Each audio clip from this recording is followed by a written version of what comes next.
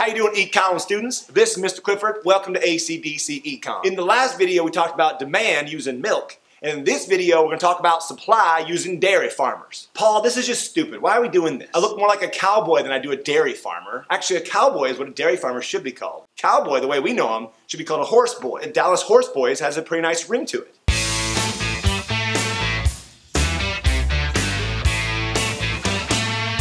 Now, if there's one thing I know about, it's dairy farming. Just joking, I don't know anything about dairy farming. But I do know about supply and the law of supply. The law of supply says there's a direct relationship between price and the quantity supplied. When the price increases for milk, that's going to increase the quantity of milk produced. This is because an increase in the price gives an incentive for dairy farmers to produce more because they want to make more profit. So a supply curve is upward sloping. When the price increases, the quantity supplied increases. And again, when there's a change in price, that moves along the supply curve. But the supply curve can also shift. Just like demand, an increase in supply is always to the right and a decrease is always to the left. Using milk as our example, let's talk about the five shifters of supply. Man, I just filmed this after drinking all that milk. Oh my gosh, it was horrible. Woo boy. The first one is the change in the price of inputs or resources. So if there was a huge increase in the price of dairy cows, that would cause the supply of milk to decrease. Since you need cows to produce milk, an increase in the price of that key resource means we'd be producing less milk. The second shifter is number of producers. So if out of nowhere there's an increase in the number of dairy farmers, that would increase the supply of milk. The third shifter is a change in technology that would affect productivity. So new advanced milking machines would cause the supply for milk to increase and shift to the right. Another shifter is government involvement such as taxes or subsidies. A subsidy is when the government wants firms to produce more, so they give them money to produce more output. This would cause the supply curve to shift to the right. A tax is just the opposite. This would take away producers' money, and since they don't have money to produce stuff, the supply would shift to the left and decrease. And the fifth and last shifter is future expectations.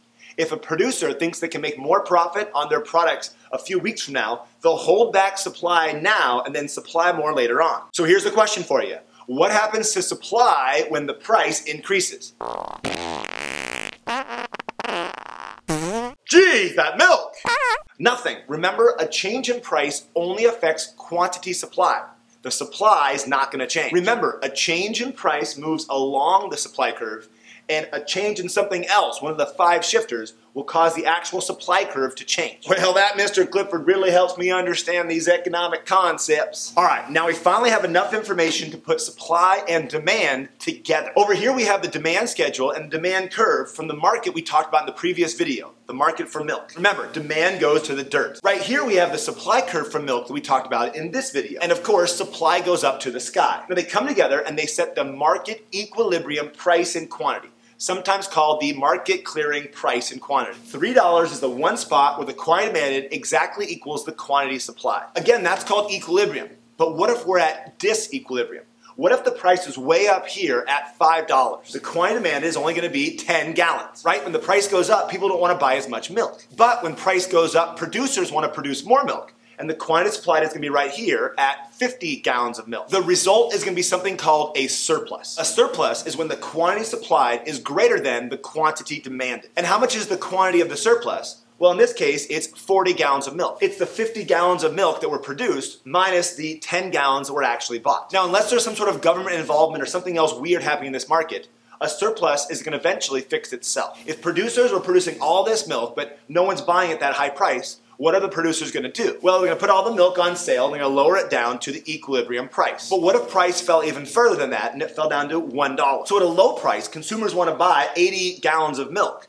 But producers don't want to produce very much, right? They're only going to produce 10 gallons of milk. And this creates a shortage. A shortage is when the quantity demanded is greater than the quantity supplied. And how much is the shortage in this situation? Well, it's 70 gallons. The quantity demanded of 80 minus the 10 quantity supplied. And again, unless something weird is happening in this market, the shortage is going to fix itself. Now, up to this point, we've only talked about how a change in price will move along the demand or along the supply curve.